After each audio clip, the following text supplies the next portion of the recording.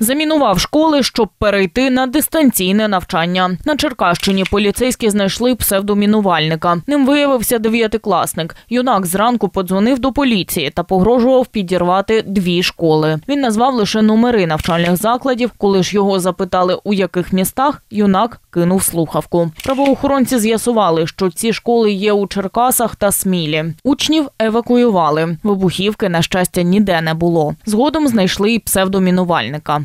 Хлопець таким чином хотів перейти на дистанційне навчання, як і учні школярі в Черкасах. Тобто пішла, він прочитав інформацію про те, що після чергових е, повідомлень про замінування в обласному центрі дітей відправили на дистанційне навчання.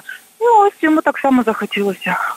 Нагадаємо, хвиля мінувань розпочалася із початку року. Повідомлення про загрозу вибуху надходять по всій Україні, зокрема і Черкасах, чи не щодня. 13 січня голова Нацполіції України Ігор Клименко заявив, що кількох псевдомінувальників вдалося затримати.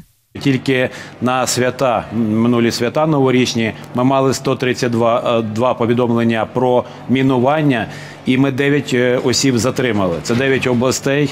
Це були різні громадяни під е, різними. Різні чинники мали, чому ми це зробили.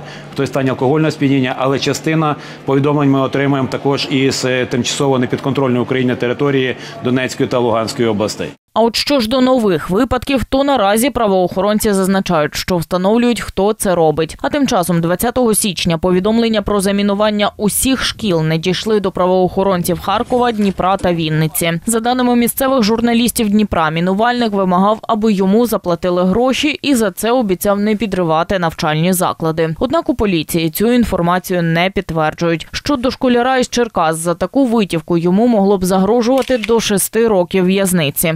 Утім, покарання за псевдомінування передбачене лише для тих, хто досягнув 16-річного віку. Тим часом у поліції Черкас додають, що до попередніх замінувань шкіл в області хлопець не причетний. Ці замінування вони не пов'язані з е, замінуванням, про яке повідомляв неповнолітній, а ними займаються попередніми кіберполіція, національна поліція, тому що ці замінування по всій Україні, не тільки в Черкасах.